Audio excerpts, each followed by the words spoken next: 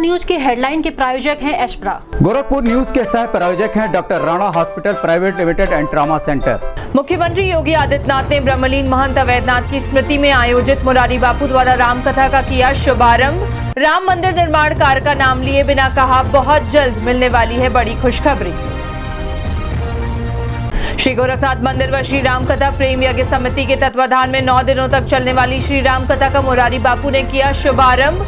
कहा मुख्यमंत्री योगी आदित्यनाथ के निर्भीक निर्णय को अखबारों में देखता हूँ तो होती है बहुत प्रसन्नता।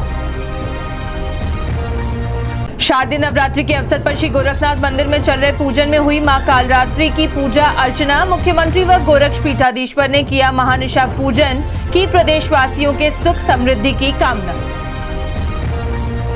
संत मुरारी बापू की रामचरित्र मानस कथा की पोथी का शिव अवतारी गुरु गोरखनाथ के गर्भगृह में किया गया पूजन प्रधान पुजारी कमलनाथ ने पोथी को अपने सिर पर रखकर मंदिर के गर्भगृह की की परिक्रमा। गोला थाना क्षेत्र के गला व्यापारी और ग्राहक सेवा केंद्र के संचालन से लूट का प्रयास करने वाले शातिर लुटेरों को पुलिस ने किया गिरफ़्तार। एसपी साउथ ने किया खुलासा।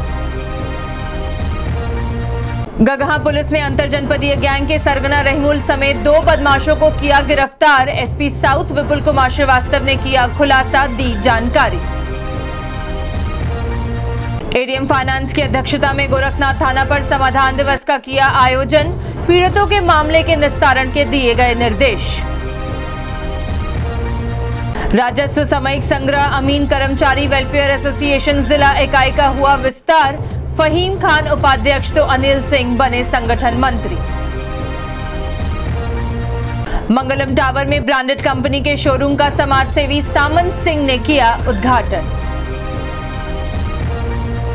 हाईजैक विमान से 360 यात्रियों की ज़िंदगी बचाने वाली अशोक चक्र से सम्मानित एयर हॉस्टेस की पुण्यतिथि पर दी गई श्रद्धांजलि।